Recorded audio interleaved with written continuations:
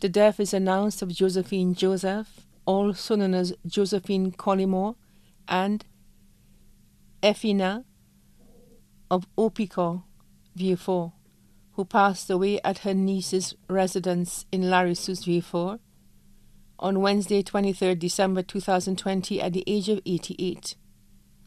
The funeral arrangements for the late Josephine Joseph, also known as Josephine Collymore, and Effina of Opicor Vieux will be announced in a subsequent broadcast. The body now lies at Lazarus Funeral Home, New Dock Road, Vieux May she rest in peace.